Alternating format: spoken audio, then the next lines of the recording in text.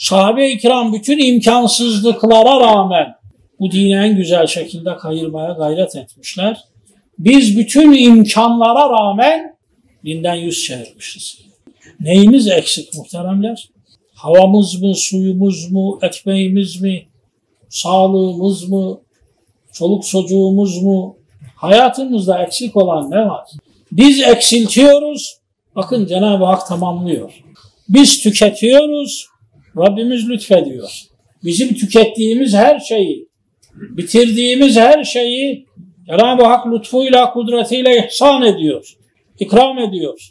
Peki biz ona karşı olan kullukta böyle gayretli miyiz? Yoksa biz terk ettiğimiz şeylere bir daha dönmüyoruz. İşte vücudun damarlarını kese kese en son atar damara geliyoruz. O da bir kesildi mi hayat bitti. Felç oluyoruz o zaman. Bunları yaşadık. Bunları çevremizdeki ülkeler yaşadı.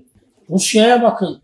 Yüz yıl boyunca diyelim bir komünizm belasından çektikleri. Romanya bizimdi.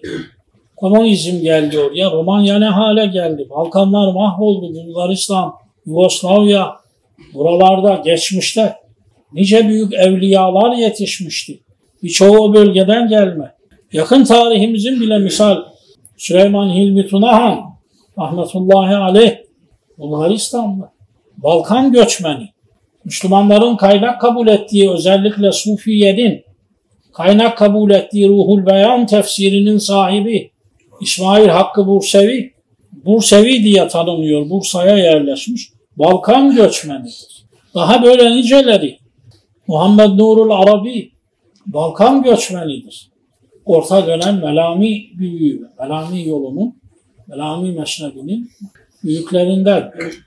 İsmail Ağa cemaatinin Allah selamet versin sürekli okudukları Risale-i Kutsiye İsmet Garibullah Hazretleri Çarşamba'da yatar. Şeyh İsmetullah Efendi Balkan göçmenidir. Yan yadan gelmiştir. Bulgaristan tarafından. Yani o bölgede bu kadar ehlullah yetişmiş. Sonradan ne hale gelmişler bakın. Şimdi onların yaşadıkları bölgelere bakın din diyanet yok yani. İşte gidin Trakya tarafına vesaire oraların yaygın olduğu yer Bu tarafa doğru da gelseniz Manav diye bilinen toplumlar Balkan göçmenidirler.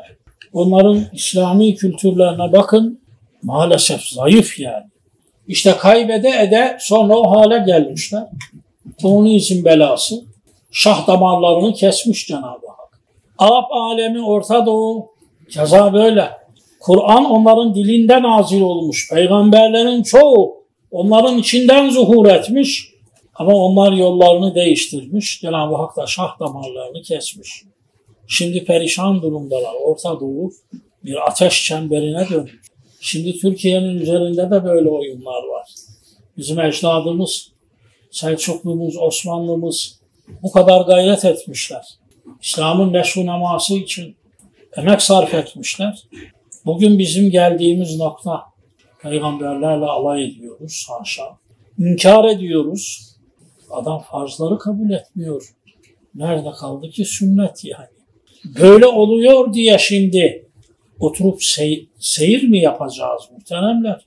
Hayır. Gücümüz neye yetiyorsa onu yapacağız. İşte bunun için diyor gücüm takya takmaya yetiyor. Çabuk tak, ihmal etme. Başın açık gezme dışarıda. Müşrike muhalefet et.